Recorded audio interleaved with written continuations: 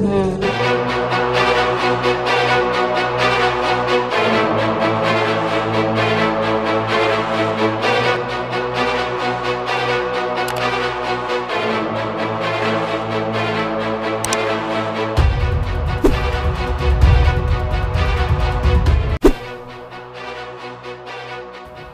Isu keretakan rumah tangga Sule dan Natalia Holzer bak mereda setelah sang istri diketahui telah berbadan dua.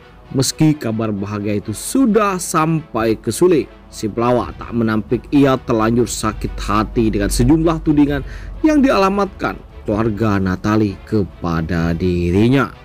Apakah Sule tak akan menjemput sang istri?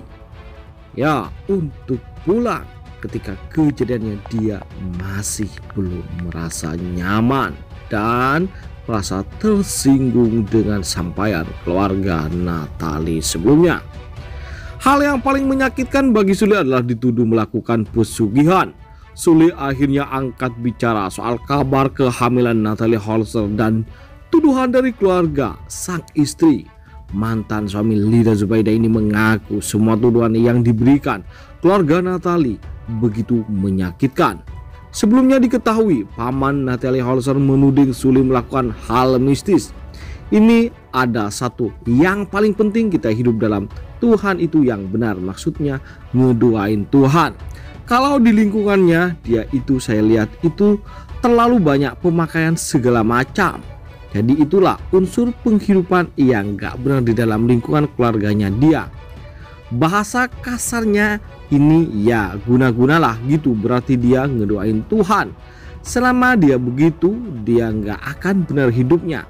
Percaya omongan saya. Imbu Rudy Holzer Sule mengatakan tak mau berkomentar banyak soal pernyataan paman Natali tersebut. Sule justru menantang paman Natali Holzer, Rudy Holzer untuk membuktikan tudingannya. Saya nggak mau komentar itu ya.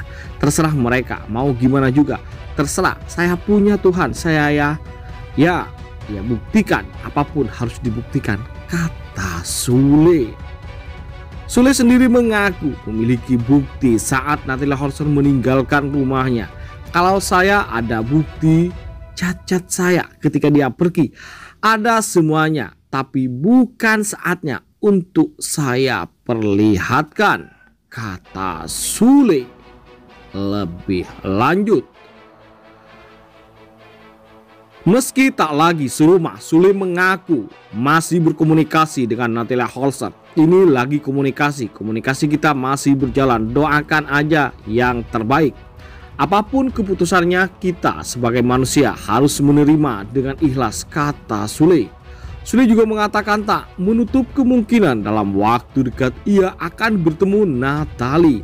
Saya tetap berkomunikasi, bahkan tadi juga telepon sama istrinya ada kemungkinan kita bertemu, kata Suli. Saat ini selain berupaya memperbaiki hubungan dengan Natali, Suli juga berusaha meredam keluarganya.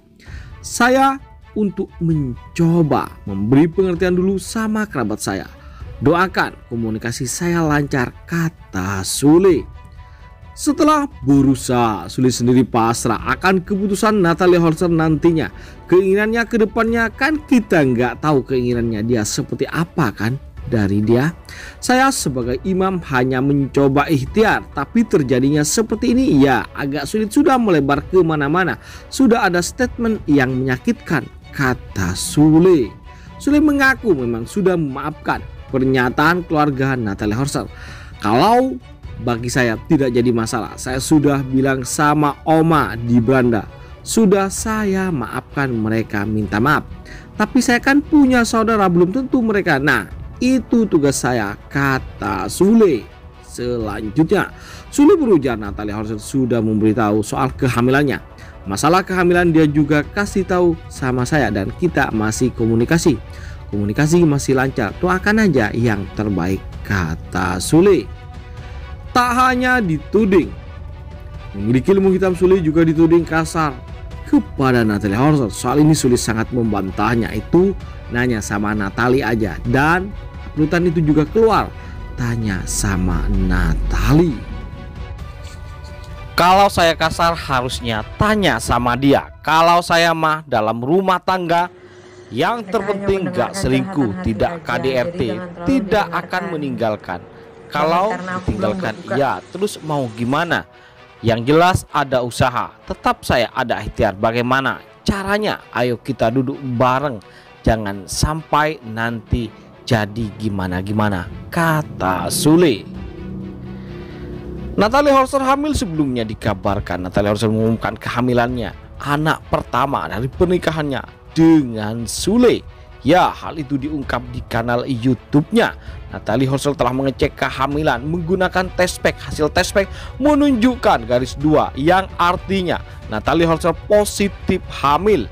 Natalie Horser pun terdengar langsung menangis sesenggukan. Oleh karena itu Natalie Horser menyambangi rumah sakit untuk memastikan kebenaran tes pack tersebut. Ini bayinya masih kecil banget, masih 2 mm. Kata dokter yang memeriksa Natalia Holzer yang melihatnya dari ultrasonografi atau yang biasa dikenal dengan USG.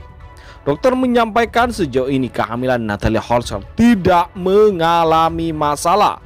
Kondisi janin yang ada di dalam kandungan Natalie Horser normal, artinya kesehatan ibu dan janin dalam kondisi sehat-sehat saja.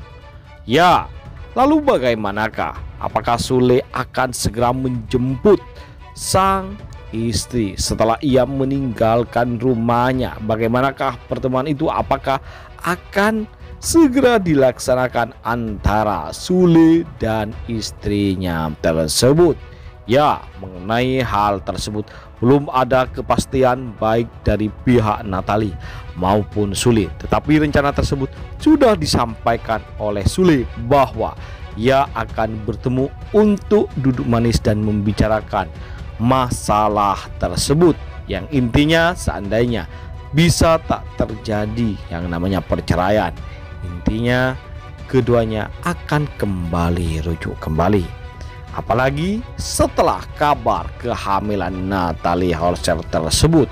Ya, kita tunggu babak selanjutnya dari kisah cerita Sule ini dengan Natalie. Bagaimanapun, jangan lupa kalian untuk komentar di bawah, like dan subscribe tentunya agar kalian pun tak ketinggalan informasi dan kabar terbaru mengenai perkembangan terupdate Sule dan Natalie Horser. Itu saja dari kita. Terima kasih telah menonton. Yuk, bye bye.